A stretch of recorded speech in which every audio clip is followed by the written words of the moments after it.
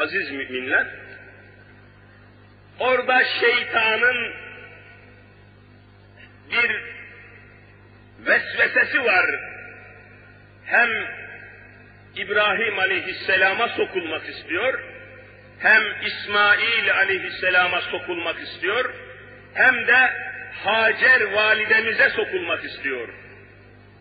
Vesvese, canım böyle şey olur mu? Hani adam evladını kurban eder mi İbrahim? Enayi misin, ahmak mısın sen gibi haşa. Vesvese ya bu. Bir avuç taş alıyor, yedi tane taş kaldırdığı gibi şeytana savuruyor İbrahim Aleyhisselam. Onun ondan ümidini kesince İsmail'e geliyor.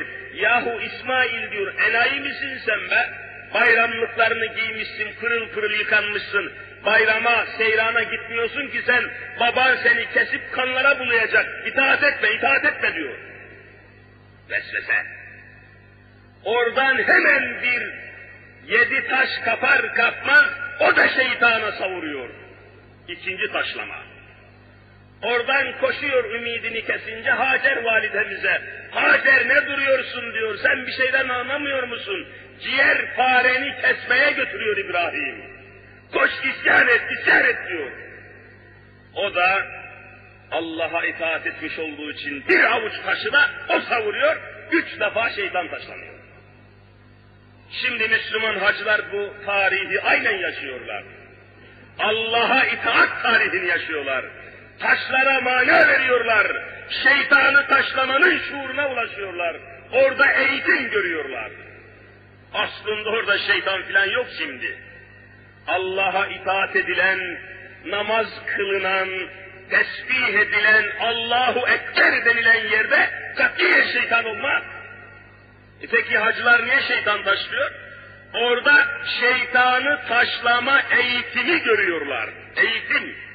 Eğitim görürken düşman olmaz biliyorsunuz. Hepiniz askerlik yaptınız.